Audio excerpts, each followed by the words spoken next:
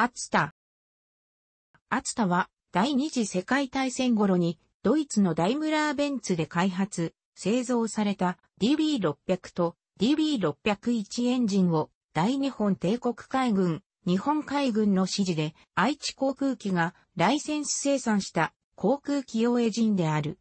DB600G をライセンス生産した厚田11型、海軍略符号 AE2A、DB601A をライセンス生産した厚田21型、その性能向上型として厚田32型などがある。環状爆撃機水星、特殊攻撃機製欄に搭載された。なお、日本陸軍の指示で同じく DB601 を国産化したエンジンに川崎航空機の波40がある。昭和10年頃、陸海両軍は DB600 の使用を考え、そのライセンス生産品の供給は、海軍は愛知飛行機、陸軍は川崎航空機が担当する予定であった。だが、両軍の協議の末、愛知が生産を一手に引き受けることで合意し、ライセンス権の取得交渉は愛知に一本化された。この時点では、陸軍も愛知航空機製のものを使用する予定でいた。ところが、日本がハインケル社の HE118 級高化爆撃機を購入したことが交渉に支障をきたすこととなった。DB600 を契約締結前に間接的に入手したことに対して、ダイムラーベンツ社は日本側の勢いに不信を抱き、結果としてライセンス権の条件の変更を招くこととなってしまった。交渉は難航したものの、ドイツ航空省の仲介により契約は一旦成立した。ところが、交渉期間中に DB600 の発展型となる DB601 が開発され、そちらの方が高性能であったため、DB601 を生産する計画に変更した。ベンツ社は、ライセンスの対象は DB600 のみで、DB601 の生産は含まれていないとし、DB601 の生産には新たな契約が必要であるという姿勢を示した。一方、日中戦争の影響で軍用機の生産量が増大した結果、愛知一社の生産では陸海両軍に供給するのは困難という見込みとなった。これらの事情により、液冷エンジンの生産経験を持つ川崎にも DB601 のライセンスを取得させ、陸組への供給については川崎の生産分を充当することとした。俗説として、両軍の仲が悪かったがゆえに別々で生産したと言われているが、両軍に供給する企業が別個になってしまった以上、それぞれでライセンス生産権を取得するのは当然である。この件に関しては、軍部側が生産を担当する企業の生産能力を正しく認識していなかったことが混乱を招いたと言える。アツタといえば、ダイムラーベンツ DB601 のライセンス品である、アツタ21型や32型が有名だが、一般的に海軍の指示で、ライセンス生産権を獲得したといえば、DB601 のことを指すことが多い。ただし、これ以前に、海軍の命で DB600 のライセンス権を購入しており、少数だが実際に生産されていた。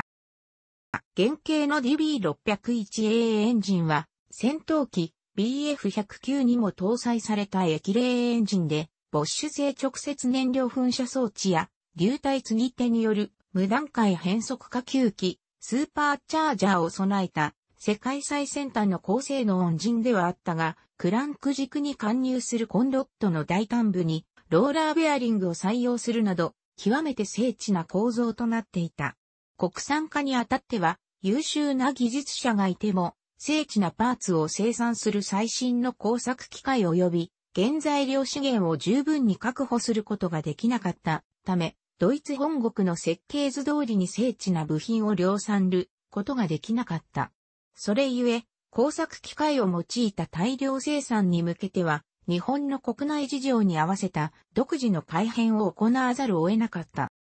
陸軍の波40同様、戦略物資の使用制限からニッケルの使用量が制限された。ただしその制約は、波40の場合よりもやや緩く、当初の生産型である、厚田21型ではクランクシャフトにニッケルマンガンロム鋼が使用されている。32型ではニッケルの入手性の悪化からシリコンマンガンクロム鋼に切り替えており、これが焼き入れ性の悪化等を招いた。愛知では対応策としてクランク軸の熱処理を長時間化して強度を確保することとし、名古屋市の都市ガスの半分以上を使用して2週間にも及ぶ炉内焼き入れ作業を行った。それでも完成品のぶどまりは低く、加工工程で検索割れ、さらに出力増大も影響して、クランクピン部分の剥離、ローラー軸受けのフレーキング等が多発した。この焼き入れ工程は生産上の愛路となり、ある意味、これが品質管理を機能させた面もあるが、それは結果論であり、当時は生産量の増大ができないことを問題視しており、後日の32型の本格生産立ち上がり遅れの牽引や空冷エンジンへ乾燥した形式の水星33型が登場する要因となった。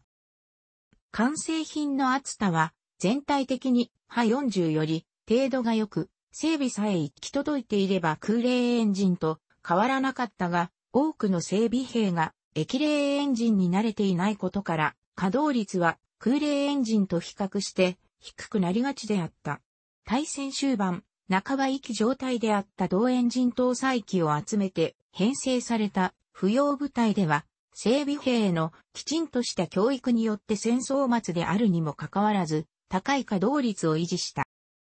厚田32型では出力向上の一方、信頼性と生産性の向上のために一部補給類、発電機などを日本製の既存品に交換するなどの措置を受けており、蒸気クランク軸の材質変更も含め、その相違点は多岐にわたった。21型の生産は1943年、昭和18年10月度に一旦収束に近い状況になるが、32型の本格的な生産立ち上がりは、翌1944年、昭和19年3月以降となってしまった。21型の生産は1944年、昭和19年1月から再び増加し、5月まで月産2桁の生産が続けられたが、この1943年、昭和18年度後半の厚田生産の減少が、水星の生産体隆起、諸位、首なし機の大量出現、ひいては空冷型水星の出現の一端となった。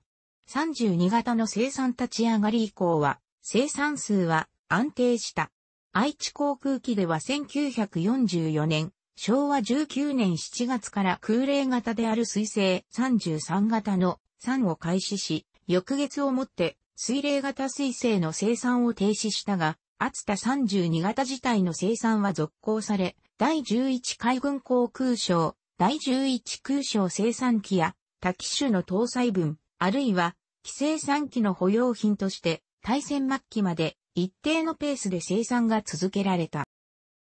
最終的な生産数は21型835機、32型863機であった。水冷型水星は愛知で11型705機、12型が281機、他に第11空省で約430機、また32型を搭載した特殊攻撃機製欄は28機ほど生産されている。同様に、オリジナルの DB601 を基礎とする、ハ40から発展したハ140の絶望的としか言いようのない生産状況とは全くと言っていいほど対照的となっている。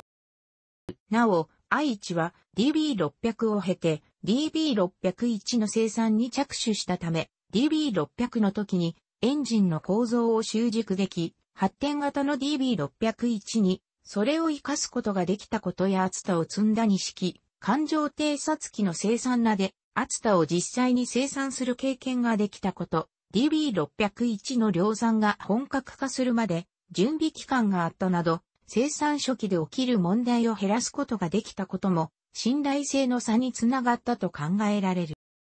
楽しくご覧になりましたら、購読と良いです。クリックしてください。